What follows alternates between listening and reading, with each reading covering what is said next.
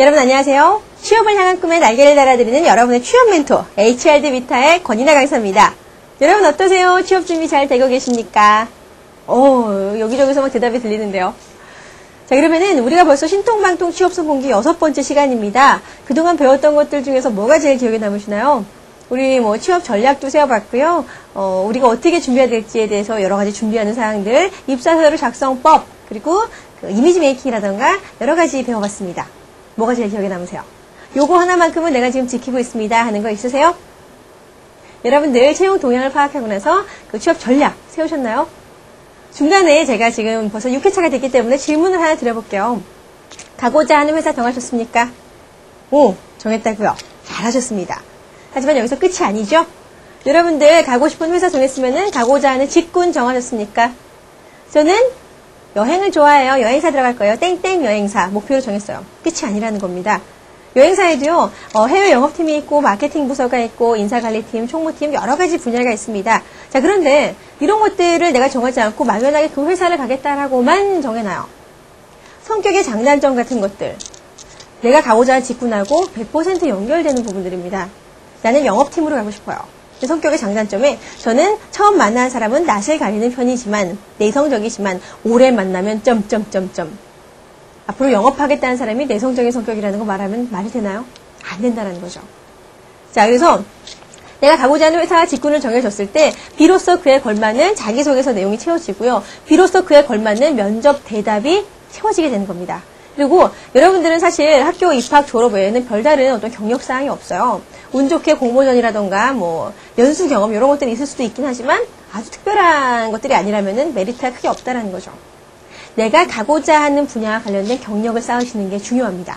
그래서 어, 내가 뭐 여행사에 갈 거다라고 한다면은 방학 때 가이드 아르바이트 해본다라던가 아니면은 최소한 그 회사의 상품을 이용해보고 느낀 점들 같은 것들 정리해본다라던가 이런 과정들이 필요합니다. 그래서 어, 지금도 늦지 않았습니다. 그래서 1, 2학년이라고 생각해서 지금은 아 지금 멀었어 하지 마시고요. 1, 2학년은 서둘러 시작하시는 거고요. 3, 4학년도 지금부터 준비하시면 되겠습니다. 그래서 여러분들이 가고자 하는 회사와 직구는 꼭 정한 채로 취업 준비하시면 좋겠습니다.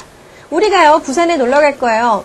내비게이션이라는 똑똑한 생활 도구가 있습니다. 요새는 부산 딱 찍어요. 오 3시간 57분 어디 어디로 해서 뭐 몇, 몇백 킬로 가라고 나오죠. 그러면은 우리는 내비게이션이 알려주는 대로만 가면은 원하는 목적지까지 손쉽게 갈 수가 있어요.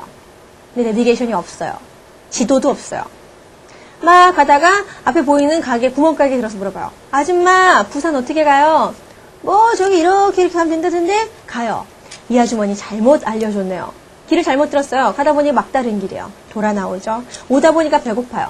식당에서 밥 먹죠. 운전하다 보니까 깜깜해요. 밤에 운전하는 건 위험해. 하룻밤 자고 갑니다. 다음 날이 되어 길을 물어보려고 하는데 지나가는 사람이 없어요. 한 시간 기다립니다. 이런 식으로 누군가는 3, 4시간 만에 갈 수 있는 길을 우리는 돌고 돌아서 2박 3일이 걸릴 수도 있다는 겁니다. 그만큼 여러분의 취업에 있어서의 목표를 제대로 세우고 그 방향성을 맞추는 것은 너무나도 중요한 취업 준비의 기본이라고 말할 수 있을 겁니다. 그래서 지금 우리가 6회차 정도까지 접어들었으니까 다시 한번 여러분 중간 점검해 보시고요. 과연 내가 취업에 있어서 얼마큼 준비됐나 어, 느껴보시면 좋겠습니다. 여러분의 선배들이 수많은 이력서와 자기소개서를 내죠. 하지만 다 합격해요? 아닙니다. 왜요? 어디에 넣어도 차별화되지 않은 내용을 넣기 때문이죠. 너무나 무난한 내용들. 자기소개서와 이력서 그리고 면접 준비는 마치 그 회사와 1대1로 연애를 하듯이 준비합니다. 거기에만 거기에만 필요한 어, 갖춰져 있는 나의 경험, 나의 경력들, 나의 생각들 이런 것들을 담아내야지 뽑힐 수가 있다는 거죠. 이런 것들을 유념하고 오늘 저와 함께 배워볼 것들은 자기 PR 스피치 전략입니다. 그래서 그 여러분들께 질문을 하나 드려볼게요. 여러분들은 여러분의 목소리에 대해서 만족하십니까? 만족하세요? 저는 제 목소리에 만족합니다. 근데 그 KBS의 한 프로그램에서 시청자들을 대상으로 목소리에 대해서 한번 조사를 해봤었어요. 그랬더니 그 목소리에 만족하지 않는다라고 이야기하는 사람들이 훨씬 더 많은 비중인 걸 볼 수가 있었습니다. 뭐 거의 절반 이상이 어, 나는 내 목소리에 만족하지 않아요라고 이야기했어요. 여러분들은 어때요? 여러분의 목소리에 만족하십니까? 응? 그렇다면 질문을 바꿔볼게요. 자, 타고난 목소리가 연습에 의해서 바뀔 수 있을까요? 바뀔 수 있을까요? 있다, 없다? 없다? 있습니다. 완벽하게 100% 바꿀 수는 없겠지만 목소리는요 우리의 노력에 의해서 어느 정도는 바뀔 수 있습니다. 그래서 나 스스로가 내 목소리가 만족스럽지 않아요. 뭔가 바꾸고 싶어요.라고 하는 친구들이 있다라고 한다면은 본인의 연습에 의해서 충분히 바뀔 수 있다는 거 아시고요. 그 자신감 있게 어, 준비를 하시면 좋을 것 같습니다.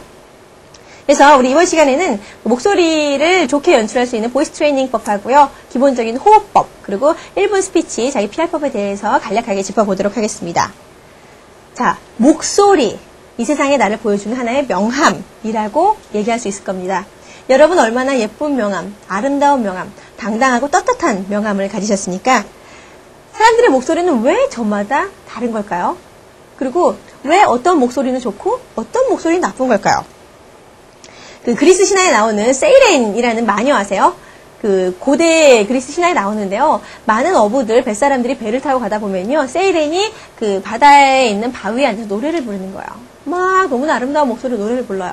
그래서 그 선원들이 배를 타고 가다가 그 암초가 있는 줄도 모르고 세이렌의 노래소리가 있는 쪽을 향해서 노를 저, 저, 저 갑니다. 어떻게 돼요? 결국 암초에 부딪혀서 죽고 맙니다. 그만큼 사람을 죽음에 이르게끔 하는 어, 커다란 매력을 지닌 바로 목소리의 힘이라고 볼 수 있는 겁니다. 그래서 이 세이렌이라는 게 나중에는 사이렌이라는 그 뜻으로 바뀌면서 경고 라는 뜻이 됐죠. 그만큼 목소리는 어떤 굉장한 힘이 있는 게 아닐까라는 생각이 듭니다. 그래서 우리 메라비언의 법칙에서도 38% 음성적인 요소가 사람을 평가하는데 영향을 미친다라고 얘기했었죠. 그래서 우리 그 38%다 채워갈 수 있도록 이번 시간에 한번 연습을 해보도록 하겠습니다. 그래서 그 방송사 프로그램 아까 말씀을 드렸는데 어, 무려 46%가 매우 불만족, 그러니까 다소 불만족한다. 내 목소리에 대해서 아주 마음에 들지 않아요. 좀 불만족해요. 46%였고요. 매우 매우 마음에 들지 않아요. 하는 친구들이 11.2%였습니다.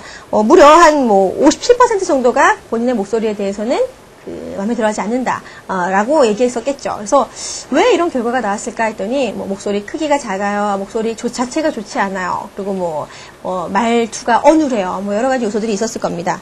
그래서 뭐 보통 사람들이 목소리가 좋다라고 한다면은 누구를 꼽아요? 누구 떠오르시나요? 뭐 기본적으로는 뭐 한석규 씨, 이병헌 씨, 뭐 그리고 송영아 씨라던가 이영애 씨 같은 경우도 목소리 좋은 배우로 우리가 꼽죠. 근데 좋은 목소리라는 거는요, 기본적으로 음 높이하고 연관이 있는 겁니다. 그래서 저음일 경우에는 약간 무게감 있는 어떤 그런 느낌을 주고요. 고음일 경우에는 밝고 경쾌한 느낌을 주고요. 또 중음은 아주 부드러운 그런 느낌을 주게 됩니다. 사람의 목소리는 왜 저마다 다를까요? 사람의 목소리는요, 공기를 통해서 이제 전달이 됩니다. 그죠? 뭐 내가 얘기하는 목소리와 타인 듣는 나의 목소리가 다르다라는 건 아시죠? 타인에게 들리는 목소리는 이 공기를 통해서 나가는 뭐 소리고요. 내가 듣는 소리는 나의 인체를 통해서 그리고 소리를 통해서 이렇게 공기를 통해서 오는 게 조합된 거기 때문에 어, 본인 스스로 내가 지금 얘기하면서 듣는 나의 목소리는 사람들이 듣는 목소리와는 차이가 있다라는 것들 이야기합니다. 그래서 그 우리의 목소리가 공기를 통해 전달된다고 말씀을 드렸는데요. 이 소리 자체는 파동이라고 볼 수가 있죠. 그리고 이때 파동의 진동수라고 하죠. 이제 주파수는 사람들마다 다릅니다. 우리들 각자 각자가 지문이 다르듯이 우리 목소리의 주파수가 다르기 때문에 목소리로도 이제 뭐 범죄 같은 거 있을 때 그 분석을 해가지고 범인을 잡아내고 이런 것들을 활용을 합니다. 그래서 일반적으로 남성의 목소리는 기본적으로 100에서 150Hz, 여성의 목소리는 200에서 250Hz 사이입니다. 왜 이런 헤르츠의 차이가 느껴지냐면요.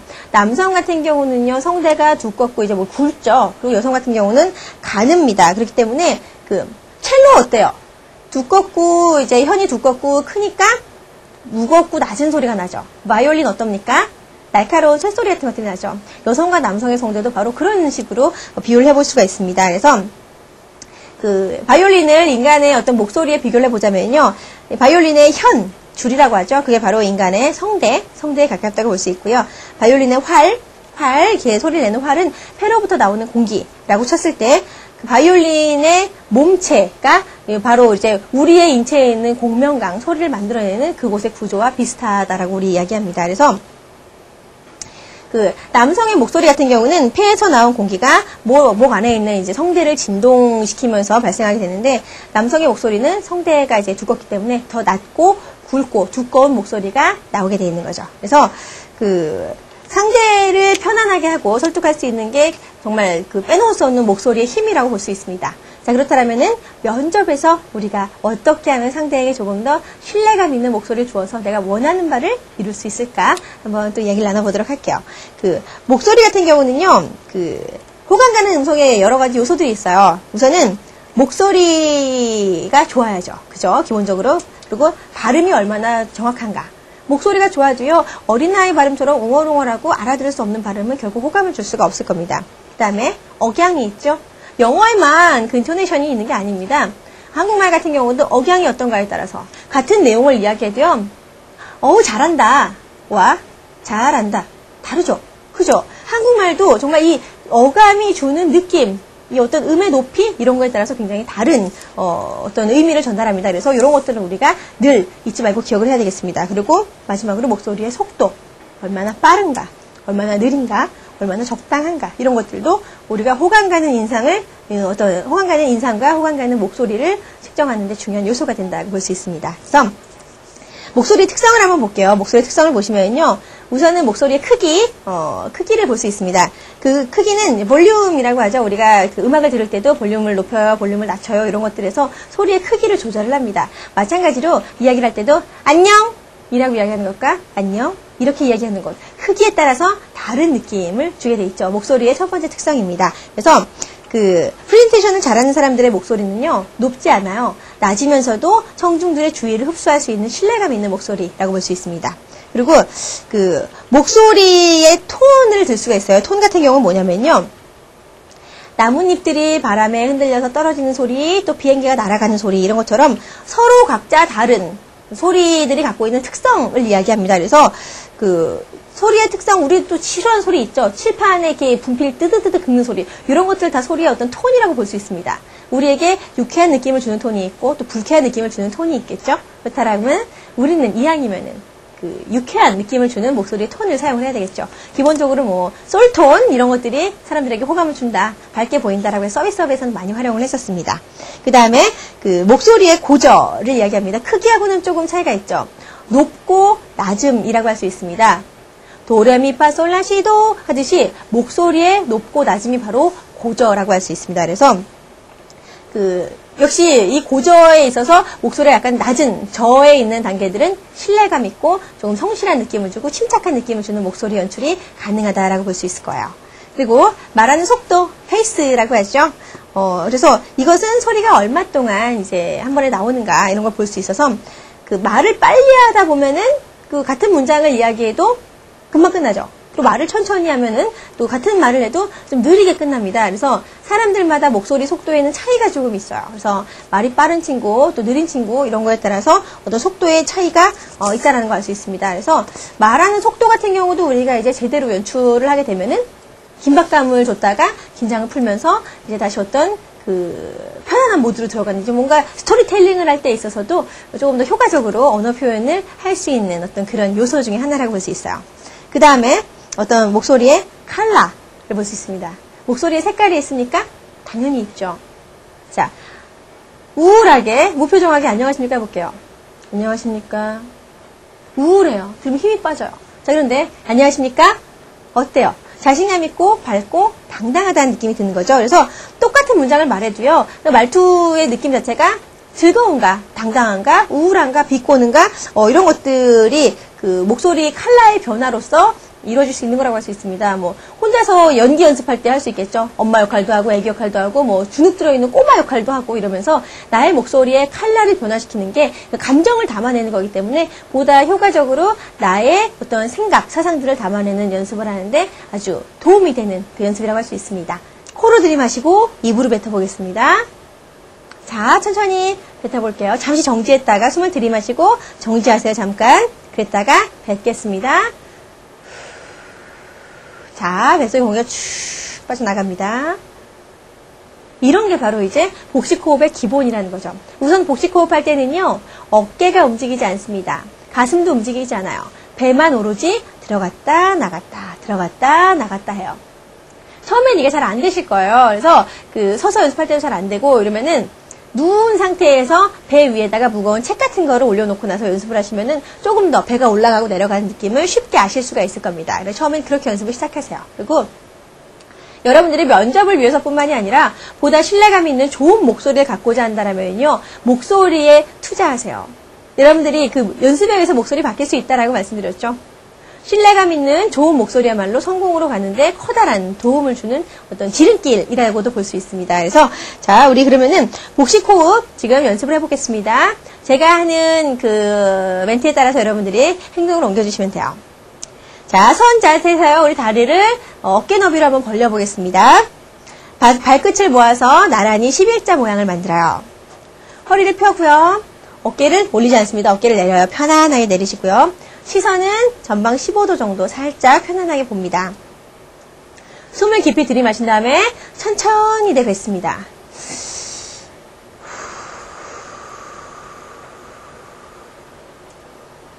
천천히 뱉습니다. 천천히 뱉는 과정, 사실 처음에는 한 10초, 20초 정도면은 모든 숨이 나가고 없을 거예요. 근데 이 숨을 길게 내보내는 연습을 하는 겁니다. 들이마시고 나서요, 천천히 아주 조금씩 내보내서 1분을 목표치로 잡아보겠습니다. 처음 할 때는 한 20초 정도면 끝나실 거예요. 하지만 점차 개인적으로 연습을 하면서 이 시간을 늘려가시면 좋겠습니다. 자, 두 번째, 숨을 깊이 들이마셔요.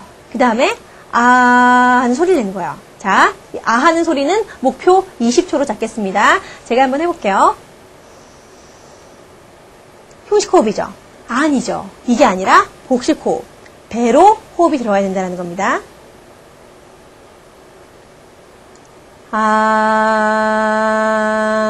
아, 이렇게 쭉 해서 목소리가요, 일정한 톤으로 쭉 가게 합니다. 아, 아, 아, 아. 이게 아니에요. 아, 그래서 일정한 톤으로 내가 과연 얼마만큼의 소리를 연속적으로 낼 수 있는가 연습을 해봅니다. 자, 마지막 으로요. 10셀 동안 천천히 배로 들이마시고요. 30셀 동안 천천히 남아있는 공기를 뺍니다. 이 작업을 한번 해볼 거예요. 자, 시작. 하나, 둘, 셋, 넷, 다섯, 여섯, 일곱, 여덟, 아홉, 열. 잠깐 멈추시고요. 자, 이제 30셀 동안 공기 빼보겠습니다. 하나, 둘, 셋, 넷, 다섯, 여섯, 일곱, 여덟, 아홉, 열, 열하나, 열둘, 열세, 열넷, 열다섯, 열여섯, 열여덟, 열아홉, 스물, 숨 차시죠? 요만큼 해보겠습니다. 사실 20초 정도까지 숨을 빼기도 힘들어요. 근데 제가 말씀드린 거 있죠? 자, 숨을 깊이 마신 다음에 천천히 뱉는 거 1분, 그리고 깊이 들이마신 다음에 아 하는 소리를 내면서 빼는 거 20초. 그리고 마지막으로 10셀 동안 들이마시고 30셀 동안 천천히 뱉는 거. 요 연습을 한번 반복해서 하루에 5분 정도만 해보시죠. 어, 지금 여러분들이 잠깐 따라해 보셔서도 아시겠지만요. 하고 나면은 힘들어요. 머리에 땀이 막 흐르는 송글송글 땀이 맺힌다는 거죠. 제대로 숨쉬기가 이렇게 힘든 겁니다. 그래서 그 여러분의 건강을 위해서도 복식 호흡은 참 좋아요. 그래서 건강도 챙기고 좋은 목소리도 챙기고 더불어 자신감도 생기고 얼마나 좋아요. 그래서 우리 복식 호흡만큼은 제대로 한번 익혀보시면 좋겠다라는 생각을 해봅니다. 그래서 혹시 여러분들이 그 남들 앞에 서면 대인 공포증이 조금 있거나 목소리가 떨려요. 떨리고 막 불안하게 보인다라고 하는 분들 같은 경우는 누워서 복식 호흡을 연습하는 것들도 상당히 도움이 됩니다. 그래서 배에 무거운 것을 올려놓고 복식 호흡을 하던가 의자에 앉아서 이제 복식 호흡을 해봅니다. 그리고 이제 자세를 좀 불편하게 할 경우에도 복식 호흡이 이제 잘 돼요. 이제 뭐 다리 한쪽 다리 든다라거나 내지는 몸을 이제 숙여서 그 몸을 반으로 접는 거죠. 숙여서 머리가 밑으로 내려가게 해놓고 나서 숨을 쉬는 연습하는 것도 도움이 됩니다. 어, 자신감 있고 그 건강한 목소리를 위해서 복식 호흡은 여러분들이 꼭 마스터했으면 좋겠다는 생각이 듭니다. 물론 하루 이틀 일주일 연습한다고 해서 되는 거 아닙니다. 10일, 한 달, 길게는 몇 달이 걸려야지 마스터할 수도 있어요. 하지만 여러분들 하루에 5분씩 투자해서 남에게 신뢰감을 줄 수 있는 멋진 목소리 호흡을 통해서 만들 수 있습니다. 함께 꼭 연습해 보시면 좋겠습니다. 그리고 그 그냥 호흡 연습하면 재미가 없잖아요. 그래서 제가 제 도구를 이용해서 할 수 있는 방법도 또 보여드릴 거예요. 집에 있는 티슈입니다. 그죠? 티슈. 티슈를 우리가 그냥 숨을 내뱉으면 재미가 없잖아요. 후, 재미가 없어요. 그래서 여기 눈 높이에다가 티슈를 갖다 놔요. 그래서 이제 내뱉는 거죠. 몇 초 동안이나 과연 뱉을 수 있을 것인가. 혼자서도 해보시고요. 집에서 엄마, 아빠, 동생이랑도 한번 해보세요. 가장 오래 버틴 사람에게 뭐 사람들이 치킨을 사준다라던가 내기도 해보시는 거죠. 자, 보겠습니다. 들이마셨어요, 배로. 뱉어보겠습니다. 과연 이런 상태로 휴지가 몇 초 동안이나 유지되는가? 그냥 내뱉을 때는요, 10초, 20초 나가는 것 같아요. 하지만 좀 약간 좀 더 힘을 줘서 이 휴지가 떨어지지 않게 유지하는 거는요, 시간이 조금 더 짧게 나올 겁니다. 좀 더 힘들어요. 그래서 휴지를 이용해서도 연습해 보세요. 다시 한번 해보겠습니다. 자, 들이마시시고요.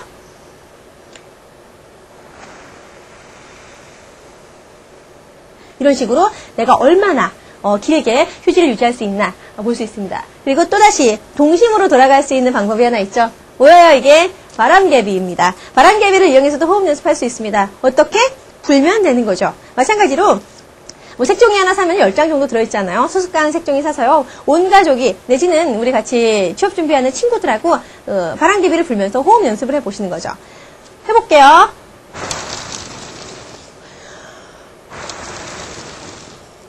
이런 식으로 바람개비를 돌려가는 거예요. 친구들하고 같이 앉아있으면서 누가 가장 오래 바람개비를 돌렸나. 자, 호흡이 길면은 어떤 장점이 있을까요?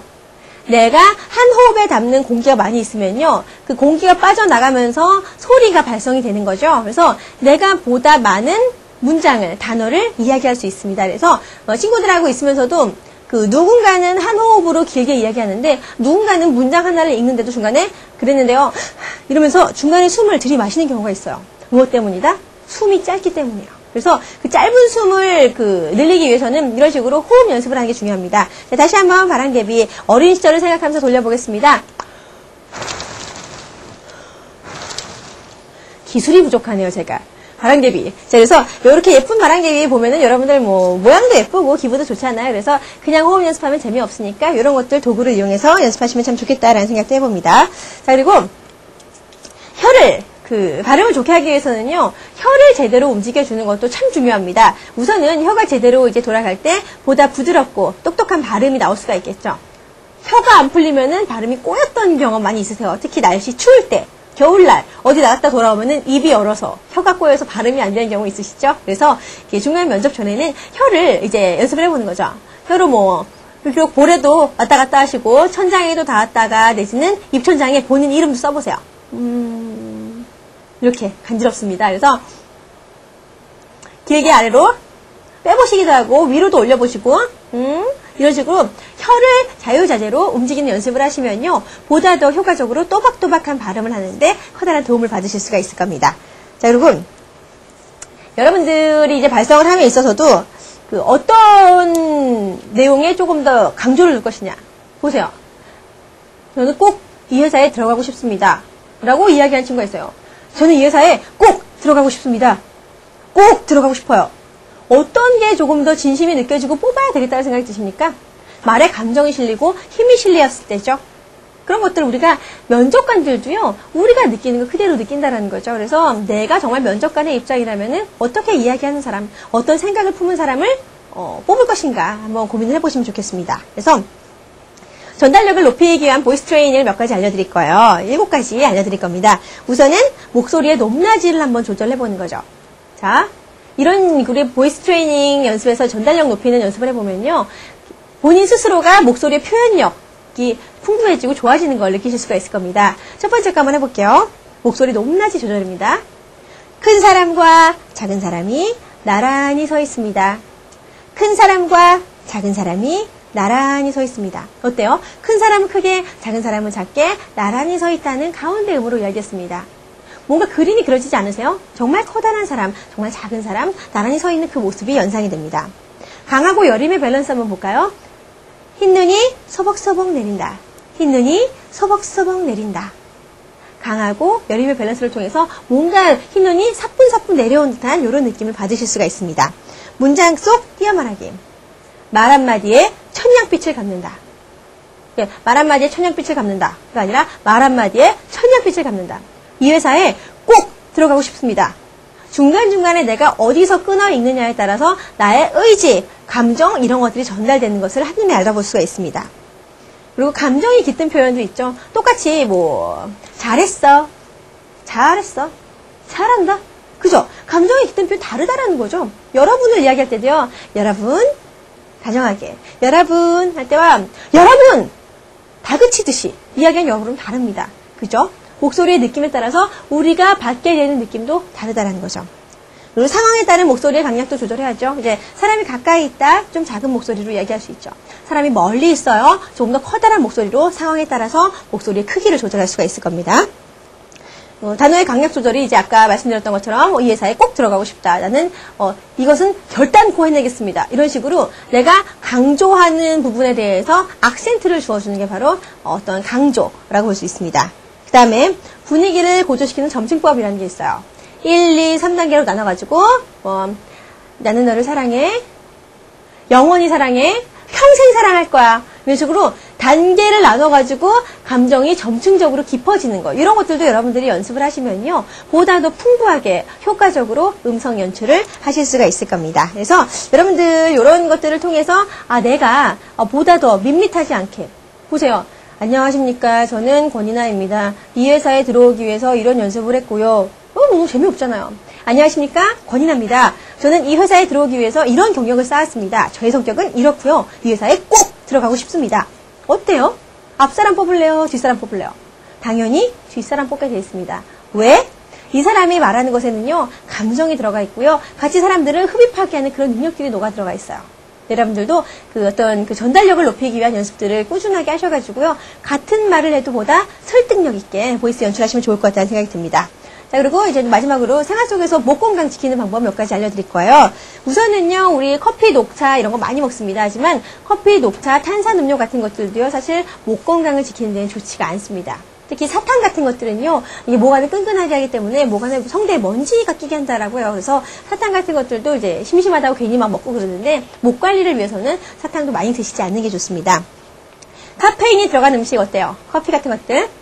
우리 몸속에 수분을 뺏어갑니다. 마찬가지로 성대도 건조하게 만들겠죠. 많이 먹으면 좋지 않겠죠. 그리고 우리는 목이 좀 안 좋다 하면은 속삭이듯이 이야기해요. 안녕, 나야. 이런 식으로 얘기하죠. 근데 생과계로 속삭이듯이 이야기하는 게 큰 소리로 고함을 지르는 것만큼 성대에 무리가 가게 한다고 합니다. 그래서 목감기 걸려서 목이 안 좋아요. 아파요. 목소리 잘 안 나와요. 이러면은 가장 좋은 거는 침묵요법입니다. 아무 말 안 하고선 얼마 동안 있는 거죠. 그게 가장 목을 보호하는 방법이라고요. 그래서 속삭이듯이 말하지 않습니다. 큰 소리 내지 않습니다. 노래방에 가서 두 곡 이상 쉬지 않고 노래 부르지 않습니다. 성대를 아주 상하게 하는 나쁜 방법이라고 볼 수가 있어요. 그리고 물을 많이 마시면은 성대가 촉촉해지겠죠? 하루에 1.5리터, 1.8리터 마시라고 하는데 힘들죠? 네, 우선은 아침에 일어났을 때 한 잔, 어, 식전 30분 전에 한 잔, 밥 먹고 나서 1시간 뒤에 한 잔, 그리고 그, 이런 식으로 식사 때 시간 조절하시고 자기 전에 또 한 잔 드시고 중간중간에 남아있는 물들은 목마를 때만 조금씩 드시면서 어, 여러분의 수분도를 좀 늘려가시면 좋겠다는 생각이 들어요. 그리고 폐활량 같은 경우도 늘릴 수 있도록 아까 제가 말씀드렸던 복식호흡 연습하면서 여러분들 꾸준하게 폐활량을 점차적으로 늘려서요. 남들 한 문장 얘기할 때 나는 한 호흡에 두 문장 이야기할 수 있다. 얼마나 좋아요. 그죠? 그래서 보이스 트레이닝을 통해서 충분히 목소리가 좋아지실 수 있고요. 폐활량도 좋아질 수 있다는 거 명심하시면 좋겠습니다. 아, 자, 그러면 이제 눈에 띄는 일분 스피치 전략에 대해서 한번 이야기를 나눠보도록 하겠습니다. 자, 우선은 스피치 커뮤니케이션에 대해서 보면요. 스피치 커뮤니케이션 뭡니까? 우리가 갖고 있는 경험에 대해서 그 느낌들을 공유하는 거죠. 면접을 볼 때도 내가 이야기한 것들에 대해서 면접관이 관심을 갖고 어 그래서 어떻게 됐나요? 나도 그런 적이 있었는데라고 뭔가 긍정적으로 응수하면서 맞장구를 친다라고 한다면은 굉장히 이제 그 바람직한 현상이라고 볼 수가 있겠죠. 그리고 이야기하듯이 자연스럽게 외워서들 많이 하죠. 사실 뭐 면접 족보라는 게 있기 때문에 많이들 나올 만한 질문들을 외웁니다. 하지만 그게 아니라 이야기하듯이 자연스러운 흐름에 의해서 어, 표현하는 게 참 중요합니다. 그리고 아까 말씀드렸던 것처럼 전달력을 높이기 위해서는 변화 있는 화술을 사용해야 된다는 거. 단조롭게 일관적인 목소리 톤으로 이야기하면은 그만큼 전달력이 떨어진다라는 걸알수 있습니다. 적절할 때 감정이입해서 내가 가고자 하는 열정, 내기는 내가 들려주고 싶은 중요한 것들 다 콕콕 집어가지고 그 사람이 그냥 그 표정만 봐도 목소리만 들어도 한눈에 알 수 있게 연출하면 좋겠다는 생각을 해봅니다. 그래서 커뮤니케이션이 뭐예요? 그 두 사람 이상의 그 관계에서 뭔가 내용들이 오가는 것 커뮤니케이션이라고 하죠. 근데 그 여러분들 면접 장소에 가서 커뮤니케이션 합니까? 자, 취미가 있으십니까? 네. 음. 운동은 좋아합니까? 네. 커뮤니케이션이에요? 아닙니다. 이거 질의응답이에요. 그죠? 네, 아니요로 대답하지 않습니다. 면접관이 운동 좋아하십니까? 할거 네, 저는 운동을 좋아합니다. 특히 등산을 좋아하는데요. 뭐 한 달에 두 번씩은 뭐 어쩌고저쩌고 막 이런 식으로 뭔가 면접관이 질문을 던지고 나면 내가 거기서 그 실마리를 찾아가지고 내 이야기를 끌어나가요. 그 중에 궁금증이 생기면은 면접관이 다시 재질문이 들어올 겁니다. 이런 식으로 뭔가 오고 가고 오고 가고 이런 게 있어야지 커뮤니케이션이라고 할 수 있어요. 묻는 말에 대해서 더 이상 상대가 받아들일 수 없게 내 손에서 잘라버리는 네 아닙니다. 요거는 아니라는 거죠. 면접 볼 때만큼은요 우리 질의응답하지 않습니다. 커뮤니케이션 하도록 합니다. 그래서 그 커뮤니케이션을 뭐 두 가지 요소로 볼 수 있어요. 비언어 커뮤니케이션이라고 하면은 표정이라던가 시선, 자세, 복장 볼수 있겠죠. 이게 바로 이미지 메이킹에서 저희가 짚었던 부분들이 되겠습니다. 그리고 그다음에 언어 커뮤니케이션이라는 게 있죠. 그래서 전략적으로 얼마나 내가 갖고 있는 역량을 잘 표현하느냐. 얼마나 잘 설득해서 나라는 인재를 뽑을 수 있게끔 만드느냐 설득대화법 그리고 면접관의 이야기를 얼마나 제대로 듣고 경청할 것인가 면접관이 그 얘기를 했는데 나중에 그 못 듣고 딴 소리 한다던가 이러면은 결코 좋은 점수 받을 수 없을 겁니다. 그리고 얼마나 신뢰감 있는 호감 가는 목소리를 가졌는가 이런 것들이 바로 이제 면접 커뮤니케이션에서 언어적인 부분에 해당하는 게 될 겁니다. 그래서 그 사실 뭐 다른 질문도 많이 있어요. 면접 볼 때 뭐 어떻게 해야 되나요? 질문들 많이 있지만 1분 자기소개 대신 뭐 기본적인 뭐 자기소개 해보세요. 이런 질문은 어느 면접장에 가나 기본적으로 나오는 단골 메뉴라고 할 수 있습니다. 그리고 자기소개라는 내용은 이미 자기소개서라는 그 종이 이력서 입사서류 상에도 적어야 되는 거기 때문에 모든 면접자들에게는 피해갈 수 없는 관문이라고 할 수가 있어요. 그래서 자기소개를 통해서 면접관들이 알고자 하는 게 뭘 것 같아요? 우선은 그 가장 기본적인 질문을 던짐으로써 이 사람이 어떻게 표현하고 어떻게 이해하고 어떻게 받아들이는가 이런 것들 기본적인 어떤 느낌, 태도, 성향 이런 것들도 알아볼 수가 있습니다. 그래서 자기소개는요, 면접관들이 공식적으로 면접자들에게 너 자신을 한번 PR해봐 라고 공식적으로 주어진 시간입니다. 그 시간만큼은 굉장히 내 모습을 120% 보여줄 수 있을 만큼 당당하게 연출해야 될 텐데 자기소개 같은 경우를 굉장히 어려워한다는 얘기죠. 그래서 그 자기소개를 시키고 나서는요 그 짧은 시간에 얼마나 응시자가 당당하게 자신의 모습을 잘 표현해내는가 이런 것들을 이제 많이 짚어보게 됩니다. 그래서 이런 것들을 이제 무시할 수 없는 부분이죠. 아, 요 짧은 시간에 조리 있게 본인을 다 나타내고 표현하는구나 라고 알려주게 되는 거죠. 그래서 그 최근의 면접 경향을 보면요. 자기소개는 자신의 장점과 특기를 들어서 이야기하죠. 그 대신 그 뭐가 첨가됐냐.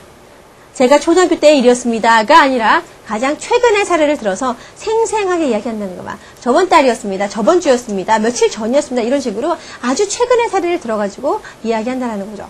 호랑이 담배 피던 시절처럼 뭐 제가 초등학교 3학년 때 이런 식으로 과거로 거슬러 올라가지 말고요. 가장 최근의 사례에서 어, 부합될 만한 것들을 한번 찾아보도록 합니다.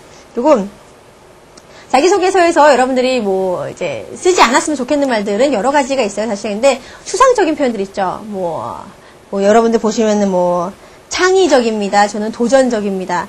예를 들어 창의적이다라고 이야기할 거면요. 창의적인 모습을 보였던 사례를 얘기해줘야죠. 뭐 공모전에 도전해서 못하겠다라던가 남들이 해결하지 못했던 문제에 대해서 아이디어를 내서 해결했다라던가 이런 식으로 뭔가 사례를 들어줘야죠. 도전적이다. 그러면은 뭐 대학생 시절에 뭐 국토 대장정을 갔네. 아니면 뭐 32개국 여행을 갔네. 뭐 여러 가지 아르바이트에 도전을 했네. 무전 여행을 했네. 이런 것들처럼 뭔가 정말 내가 도전을 했던 사례가 없다라고 한다면은 이렇게 추상적인 단어들은 어, 자기소개할 때 쓰지 않도록 하는 게 좋습니다. 그리고 면접관들은요, 사실 그동안에 수많은 면접자들을 만나왔어요. 그래서 미사여구라던가 아주 좋은 표현들, 뭐 이런 것들 너무 많이 좋은 말들 들었기 때문에 사실 어지간한 표현들을 들어서는 감동하지 않습니다. 또 어디서 베꼈군. 음. 아까 걔가 했던 얘기인데, 음. 이런 느낌들을 받는다는 거죠. 그래서 그 시중에 돌아다니고 있는 여러 가지 자기소개서 양식들 있잖아요. 샘플들이 있습니다. 그런 것들을 그대로 외우지 않습니다.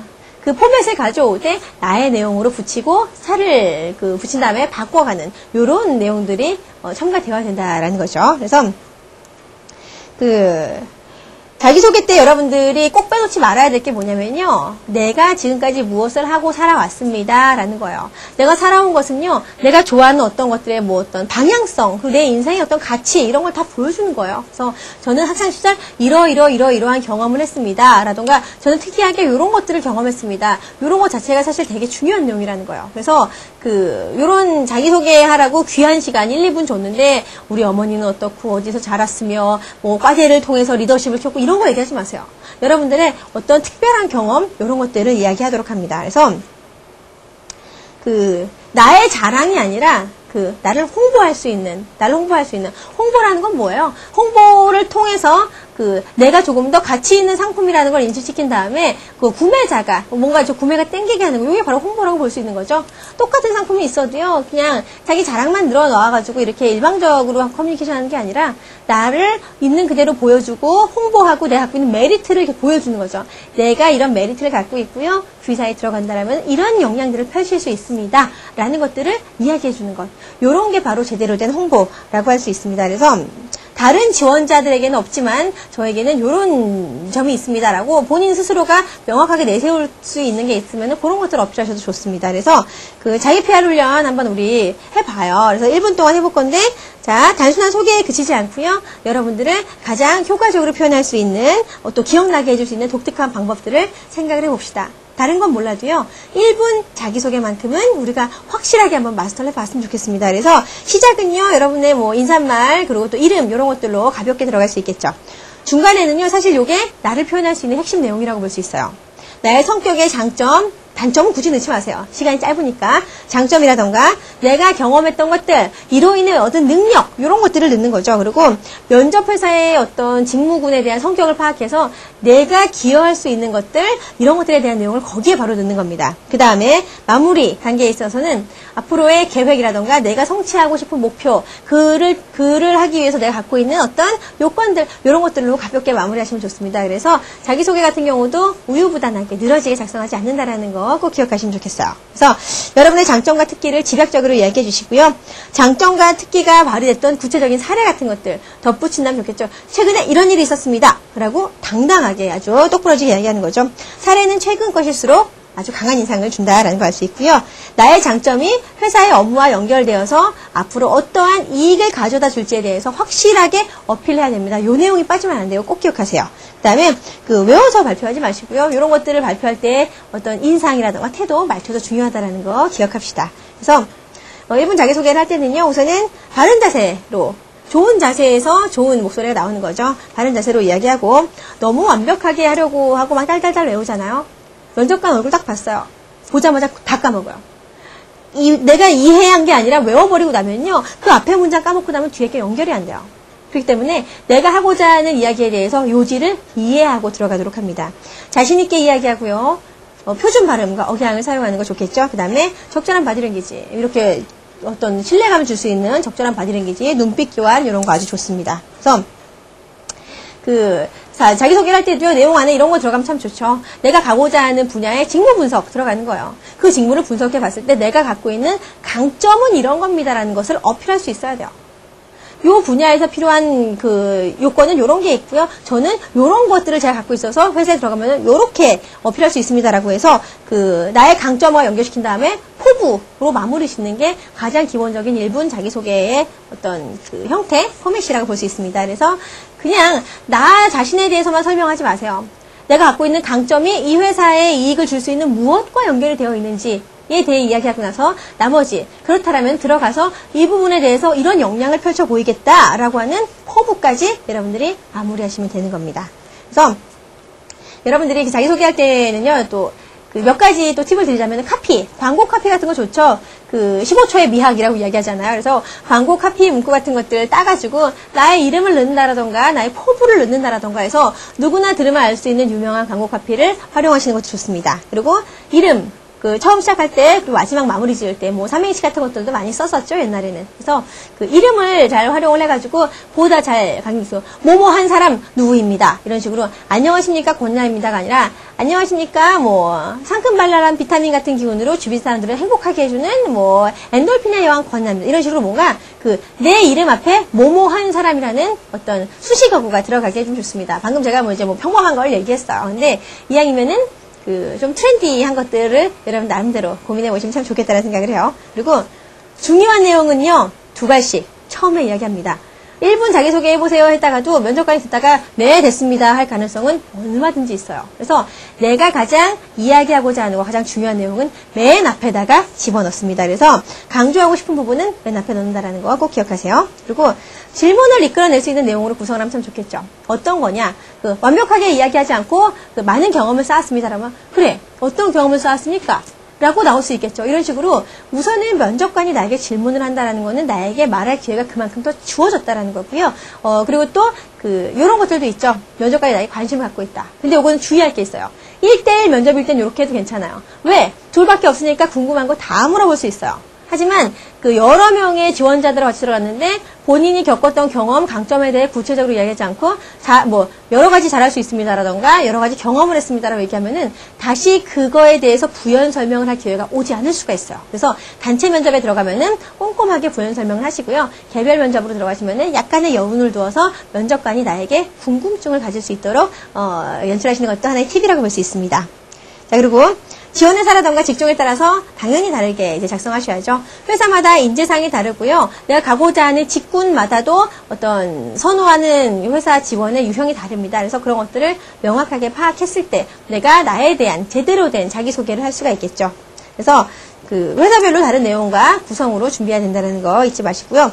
또 도전적인 성격을 가진 회사라면은 도전적인 내용, 내가 도전을 해서 뭔가 성취했던 경험, 그리고 창의적인 인재를 요구하는 회사다라면은 내가 정말 창의적인 경험을 통해서 뭔가 그 성취했던 적 이런 것들을 이야기하는 게 훨씬 더 도움이 되겠죠. 회사의 성격, 가고자 하는 방향과 어떤 나의 경험들을 끼워 맞추는 퍼즐 맞추기 작업이라고 생각하시면 돼요. 그리고 어, 양은 얼마나 해야 돼요? 라고 이야기하세요. 근데 글씨 크기 10포인트 정도로 해서요. A4지 반장 정도면은 적당하게 여러분이 딱 자기소개 하실 수 있는 내용입니다. 그래서 그 정도로 해서 그 양을 너무 길게 하시면은 듣는 사람도 지루하잖아요. 그래서 그 정도가 한 1, 2분 왔다 갔다 하는 내용이에요. 그래서 그 정도 딱 작성을 하시고 꾸준하게 연습하세요. 외우려고 노력하지 마시고요. 그 내용을 이해하세요. 그래야지 중간에 까먹게 되더라도 덜 당황하게 됩니다. 그 다음에 여운과 감동이 있는 끝맺음을 하시면 좋겠다라는 바람을 가져봐요. 자기소개의 서두에 있어서는요, 우리가 나에 대한 어떤 소개로 정보를 이제 제공을 하죠. 그 다음에는 마지막에는 우리 엔딩 멘트라고 하죠. 그 감동을 줄 수 있는 내가 회사에 들어가서 이런 거만큼은 정말 내 열정을 갖고 이렇게 몸담아서 해보고 싶다라는 감독관들이 뭉클할 수 있는 내용들 그런 것들로 이제 엔딩을 마무리하면은 훨씬 더 호감을 줄 수 있게 면접이 마무리가 되었을 겁니다. 그래서 그 여러분들 그 자기소개라고 하면 되게 힘들어해요. 하지만 이것만 기억하시면 됩니다.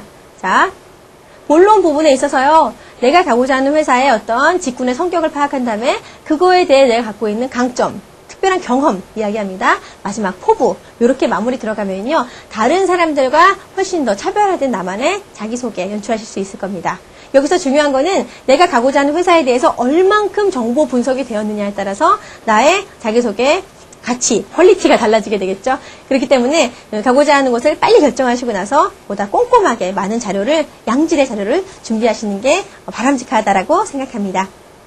자, 그럼 이제 자기 PR 스피치 마지막 단계로 우리 자기소개 유형 분석과 여러 가지 제안들을 한번 해보도록 할게요.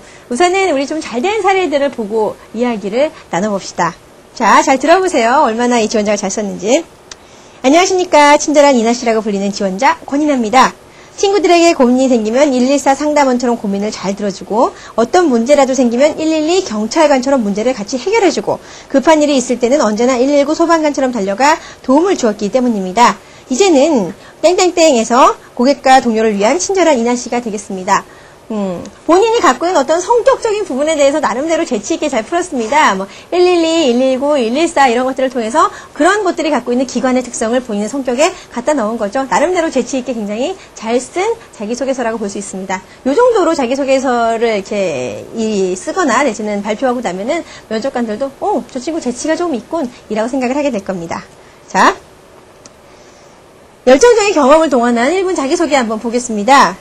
안녕하십니까? 땡땡땡땡의 열정적인 지원자 수험번호 0번 권인아입니다. 그 흔히들 열정을 뜻하는 단어로 패션을 떠올립니다. 하지만 제가 생각하는 진정한 열정이란 지속 가능한 열정이라고 생각을 합니다. 저에게는 지속 가능한 열정을 뒷받침해주는 세 가지 성품이 있습니다. 그것은 바로 근성, 인성, 전문성입니다. 첫째, 1440km의 국토 대장정 완주와 지금껏 50회에 가까운 헌혈 활동을 해온 근성이 있습니다. 둘째, 사회복지관에서 1급 장애우의 목욕봉사와 야학교실 지도 및 수많은 아르바이트 활동에서 사람의 눈높이에서 사람의 마음을 사는 인성이 있습니다. 셋째, 교내 영어 프리젠테이션 대회 장려상 수상과 경영대학 우수학생으로 선발되어 수여받은 네 차례의 장학금으로 이어진 전문성이 있습니다. 지속 가능한 열정을 바탕으로 갖춰진 세 가지 성품으로 땡땡땡 회사에서 온돌과 같은 열정을 발휘할 수 있는 지원자 땡땡땡입니다. 나름대로 이 친구도 본인이 갖고 있는 어, 몇 가지 특성, 어, 본 성격적인 특성에 대해서 사례를 구체적으로 들어서 이야기해 줬습니다. 그러면은 어, 이왕이면 마지막에다가 이런 것들을 토대로 해서 내가 그 당신의 회사에 들어가서 보여줄 수 있는 부분이 이런 것들이 있다라는 것까지 연결했다라면은 더 좋지 않았을까라는 생각이 듭니다. 하지만 이 정도만 해도 굉장히 잘 쓴 자기소개입니다. 자, 그러면은 요거를 한번 더 볼게요. 그 요새 뭐 스마트폰이 굉장히 유행을 하고 있죠. 스마트폰을 소재로 한 자기소개입니다. 그래서 저는 지난해 북미 시장을 휩쓴 스마트폰의 스마트함을 닮은 남자, 뭐, 누구입니다. S, specific, 구체적인 목표를 가지고 있고, M, moral, 도덕적이며, A, active, 활동적이며, R, reasonable, 합리적이며, T, time bounded, 시간 개념이 확실합니다. 그 예로 이런 식으로 구체적으로 이제 들어갈 수 있는 거죠. 그래서 이런 식으로 본인을 어떤 특별한 사물에 빗댄다라던가 요새 특히 이슈가 되고 있는 인물 뭐 이런 것들에 빗대는 것도 굉장히 뭐 나름대로는 창의적인 자기소개라고 할 수 있습니다. 그리고 이왕이면은 내가 가고자 하는 산업과 연결된 것들을 이야기하는 게 좋겠죠. 그래서 1분 자기소개의 스피치 요령에 대해서 이제 몇 가지 말씀을 좀 드리려고 해요. 그래서 그 여러분들 같은 경우 그 무엇을 조심해야 되는가 뭘 조심해야 될 것 같아요? 1분 자기소개 얘기할 때. 우선은 내용이 너무 장황하게 길어지지 않도록 주의를 하셔야 됩니다. 그래서 성장 과정은 가급적 피하시는 게 좋습니다. 어렸을 때는 어떻게 했고, 초등학교 때는 어떻게 했으며, 어차피 그것들은요, 여러분의 이력서 자기소개서에 다 들어가 있는 내용이에요. 내가 나의 자기소개, 1분 스피치 뭐 이런 것들 할 때는요, 이 안에 나와 있지 않은 내용들을 새롭게 들어가거나 내지는 그 중에 가장 핵심적인 내용만을 뽑아내서 이야기하는 겁니다. 나에게 주어진 그 너무나 고맙고 소중한 1, 2분이라는 자기 PR 시간 동안 빤히 써져 있어서 읽으면 알 수 있는 내용을 또 이야기하는 거는 너무나 시간 낭비라고 할 수 있겠죠. 그래서 어, 성장 환경보다는 능력을 보여줄 수 있도록 합니다. 그래서 살아온 나의 이야기들을 하는 게 나의 능력에 초점이 맞춰져 있어야지 흘러왔던 그 시간의 개념으로 가는 거는 좋지 않다라는 생각을 합니다. 그래서 또 마찬가지로 그 자기소개서에 써 있었던 내용들 그대로 우리가 읊조리지 않는다라는 거 꼭 기억을 하시면 좋겠습니다. 그리고 그 자기소개서에 있는 내용을 뭐 가져와서 얘기할 수도 있어요. 뭐 어, 성격적인 특성이라던가 내지는 그 학창 시절의 경험이라던가 이런 것들 내가 굉장히 특별한 경험이다라고 한다면은 가져와서 이야기할 수 있습니다. 자 그런데 이런 것들을 내가 그 이야기할 때도요 글로 쓴 거는 문어체라고 이야기하죠. 말로 이야기하는 건 구어체라고 이야기합니다. 근데 글로 써져 있는 것을 그대로 어떤 그 여과 없이 그대로 읽다 보면은 굉장히 딱딱한 말투가 된다는 거죠. 그래서 자기소개서에 있는 내용들을 몇 가지 발췌해서 이야기할 때도 말하는 것처럼 구어체로 바꿔서 이야기하는 연습을 하고 그것들을 입에 붙이는 과정이 좀 필요하다고 볼 수 있어요. 그리고 이런 분 혹시 있습니까?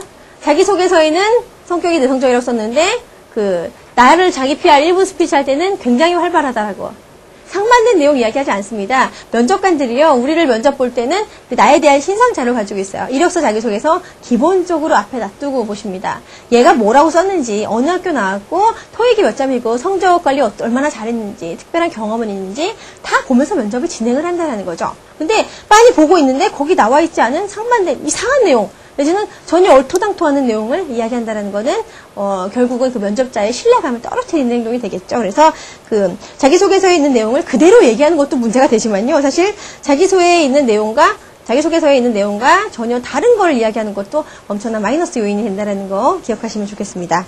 그리고 그 튀지 않습니다. 이렇게 뭐 무난한 게 가장 좋다라고 하죠. 그래서 특히 공기업 같은 경우 공무원 이런 데들은 튀는 지원자를 별로 좋아하지 않아요.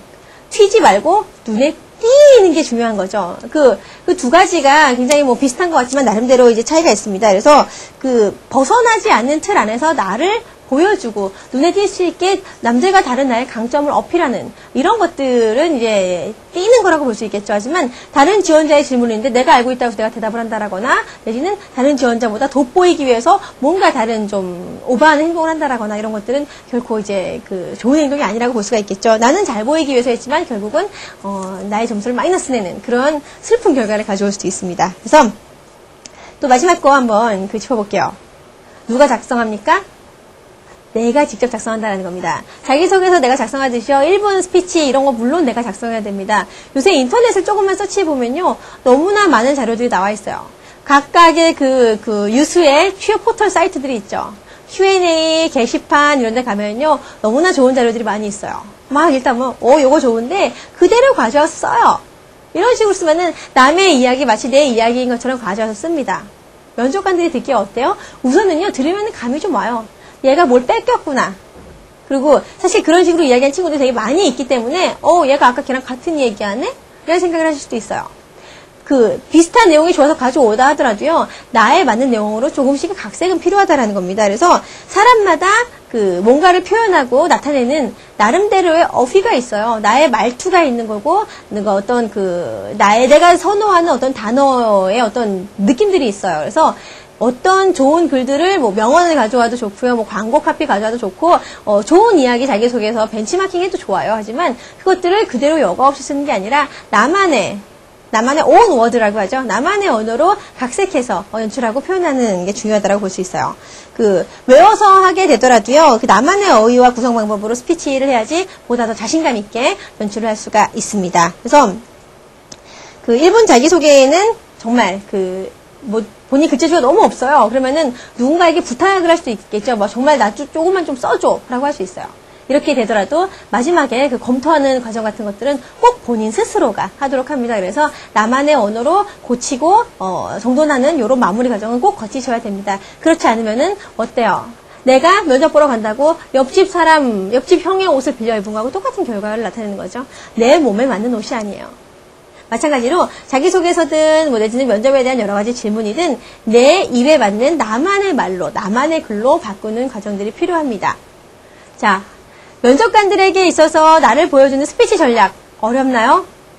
어렵다고 생각하면 어렵고 쉽다고 생각하면 또 쉬운 게 바로 취업 준비입니다. 우선은 여러분들 면접관의 입장과 바꾸어서 내가 면접관이라면 이런 글을 보고 흐뭇하겠다. 이런 사람 뽑겠다라는 그런 입장을 바꿔보는 것들 그 한 번씩 노력을 해보시고요. 객관적인 입장에서 한번 평가하면서 나의 역량이 지금 어느 정도까지 왔나 한번 이야기해 봅니다. 그리고 그 이번 시간이 스피치였잖아요. 그래서 그 요새 뭐 핸드폰이라던가 mp3라던가 이런 데서 녹음 기능이 있습니다. 그래서 이왕이면은 내가 만들어 놓은 나만의 이 그 자기소개 PR 내- 내용들 이런 것들을 녹음을 해서 과연 내가 듣기엔 어떤가 들어보고 수정할 부분은 수정하고 다른 사람들에게도 피드백을 받아가면서 그 정말 나를 소개하는 자기소개만큼은 정말 정말 나답게 정말 나를 제대로 보여줄 수 있게 표현하면 참 좋겠다는 생각을 합니다. 좋은 내용과 더불어서 좋은 목소리 이것이야말로 성공 스피치로 가는 기본적인 조건이 아닐까라는 생각이 듭니다. 자 그러면 이렇게 해서 우리 스피치 PR 전략은 마무리하도록 하겠습니다. 감사합니다.